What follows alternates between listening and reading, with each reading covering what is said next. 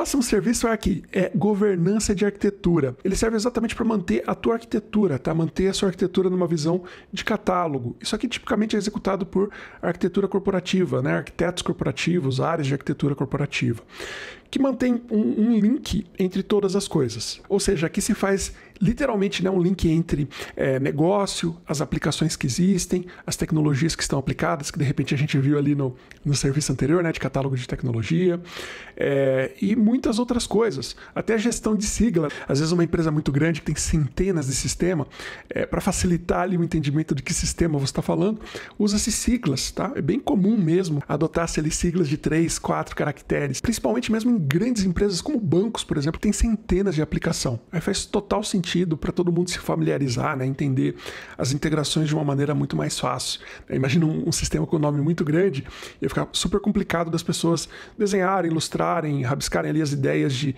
de movimentação de dados entre os sistemas, entre os domínios dos sistemas. O grande valor agregado desse serviço é que ele ajuda muito na tomada de decisões estratégicas, porque os stakeholders vão conseguir ter uma visão ampla e clara clara, por exemplo, de um sistema, né? É, qual é o impacto daquele sistema na corporação, né? qual é a infraestrutura que está sendo utilizada, quais são as tecnologias que estão sendo aplicadas dentro daquele sistema e o negócio que é, é impactado por ele. Então, embora seja um serviço é, que seja muito atípico hoje em dia, ele tem uma relevância muito grande, ele ajuda muito na tomada de decisões. E tipicamente ele é executado durante os projetos, na medida que os projetos estão sendo construídos e se envolve ali de repente um arquiteto corporativo, vai conversando com ele, ou ele entra né, e, e participa das definições, já vai documentando.